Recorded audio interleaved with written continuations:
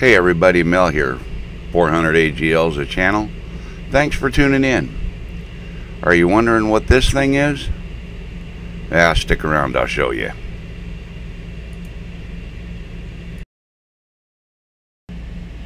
I bought a matched pair of these pen lights.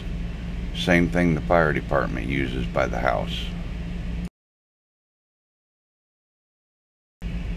Then I put the 3D printer to work. This is what I came up with. The light snaps in really tight and it's held very secure.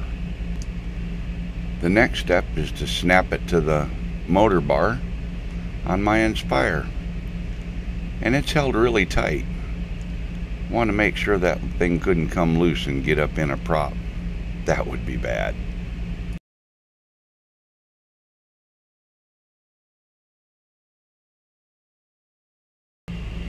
Right here I've got the Inspire about six feet in the air using my little handheld camera just to walk in front of the lights and see how bright they are.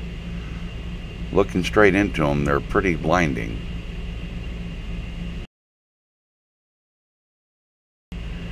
And now we're going to do a little flying around and test these lights and see how they do.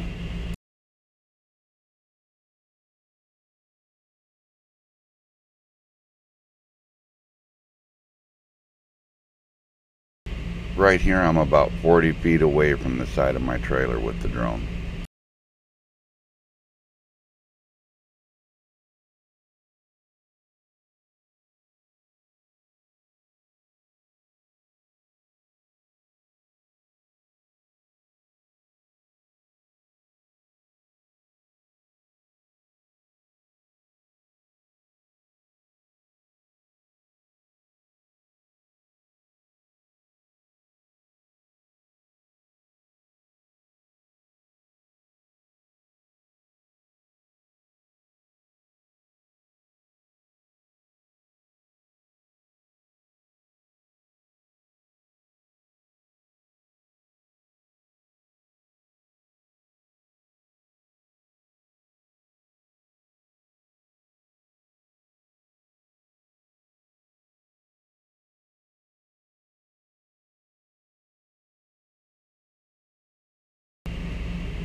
Right here, the bird's about 80 feet from the back of the trailer, and the light clearly was shining on the back of the trailer and the ground.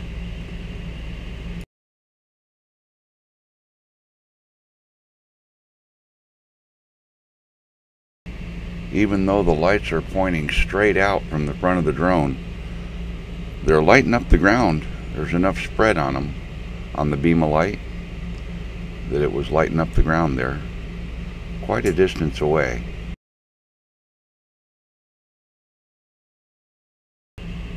Twenty-five or thirty feet from the flagpoles, illuminating the flags pretty well. About 15 feet away from me, for some reason, I decided to do a touch and go with the camera in the grass. Landing gear up. Then I blew out the rest of the battery and brought her home. Thank you so much for subscribing to my channel, everyone. If you're not subscribed, please do subscribe.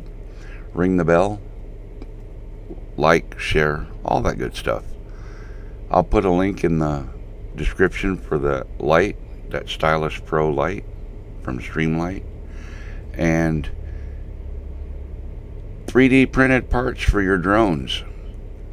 I can maybe hook you up.